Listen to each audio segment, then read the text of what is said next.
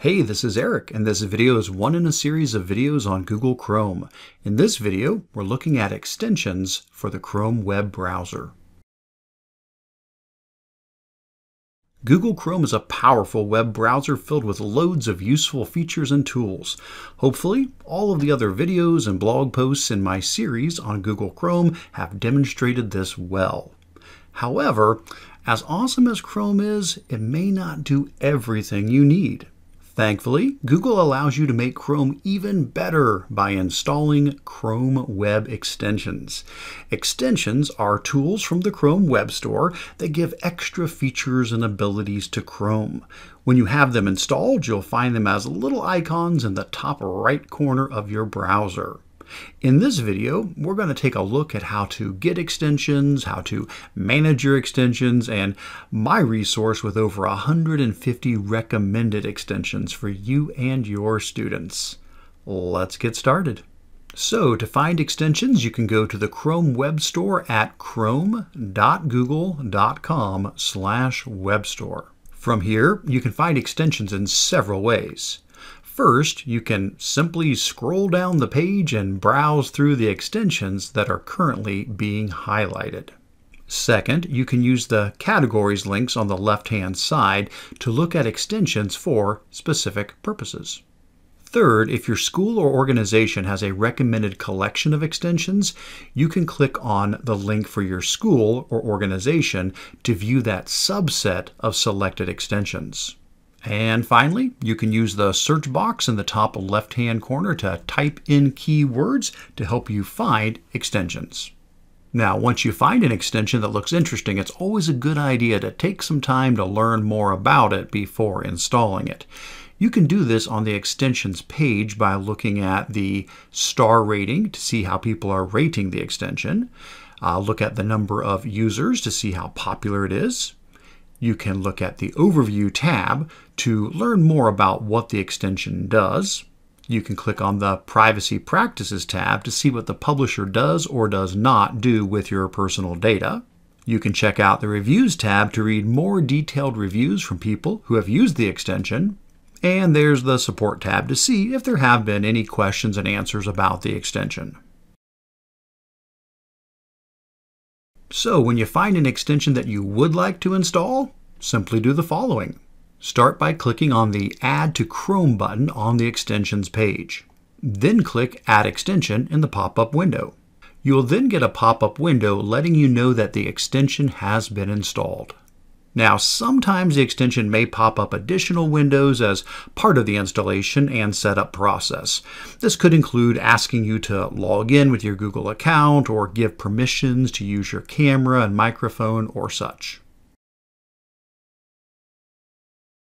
When extensions are installed, the icon to access the extension will be located in the top right-hand corner of your Chrome browser you can click on the puzzle piece icon to open and access your full list of installed extensions. However, instead of having to click on this icon every time you want to access an extension, you can pin your extensions so that they show up in the top extension bar. Simply click on the pin icon next to any extension, and now it'll be immediately available to you anytime you wish to click on it. To use an extension, it is typically nothing more than clicking on the extension icon to launch it. Now, some extensions may behave a little differently, but you'll learn that for each one. As an example, one extension I recommend is the Postlight Reader extension. This is a tool that cleans up a web page by removing potentially distracting content such as advertisements, comments, and other non-essential content. This can make it easier for a student to focus on the core content of an online article they are trying to read. Here's how I would use this extension. First, I would go to a website that has the content that I want to read. Then simply go up and click on the Postlight Reader extension.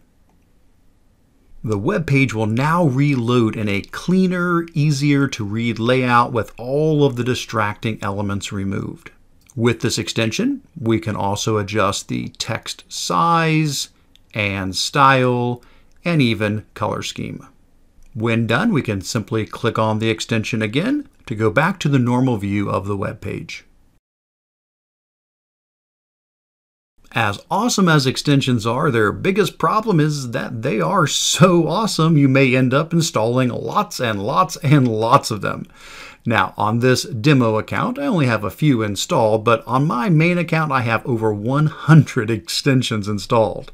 The problem with this is that extensions use up memory on your computer. Even if you're not actively clicking on an extension, if it's installed, it is active and it's using memory. If you have too many extensions installed and active, they can really slow down the performance of your browser. So what is the solution to having too many extensions? Well, the solution is actually having one more extension. The specific extension is called Extensity, and this is an extension that helps you manage your extensions. When you click on the Extensity extension, it shows you a list of all of the extensions you currently have installed. From this list, you can simply click on any extension to activate it or deactivate it. If there are some extensions that you want to keep, but you're not using them right now, you can use Extensity to deactivate them. This will remove them from the extension bar, but they will still be installed. They just won't be active, so they're not using up any memory or resources. When you need to use an extension again, simply click on it in the Extensity menu and the extension will be reactivated and will show up again in your extensions bar. This is an excellent way to manage your extensions no matter how many you have. So, speaking of lots and lots of extensions, I maintain a Google spreadsheet where I have a list of over 150 recommended extensions for teaching and learning and general use in an educational environment. You can access this list anytime at bit.ly slash curts ext list, like extension list. The spreadsheet contains an alphabetical list of extensions, including their name, a short description about them, and a link to that extension in the Chrome Web Store.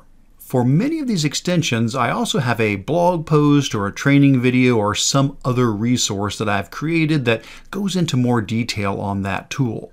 If so, I have added that resource to the final column. Now, all of the extensions in this list are either ones I personally use, or they're extensions that someone in the EdTech world has recommended to me and I've taken some time to investigate. As always, though, extensions can change over time, so be sure to investigate any extension yourself before installing it and always follow the guidance and requirements of your school or organization. And even though I have over 150 extensions on this list, I guarantee that there are many excellent extensions that I have missed. So please let me know what extensions you use and how they benefit you and your students. I would love to learn from you and add more great extensions to this list.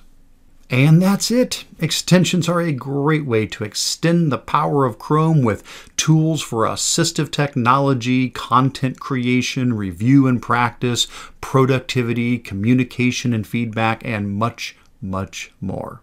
And be sure to check out the other blog posts and videos in my series on Google Chrome to pick up more tips and helpful ideas. And for all the rest of my educational technology resources, be sure to visit my site at controlaltachieve.com, follow me on Twitter, subscribe to my YouTube channel, sign up for my email newsletter, and check out my book, Control Alt Achieve Rebooting Your Classroom with Creative Google Projects. Thanks so much and take care.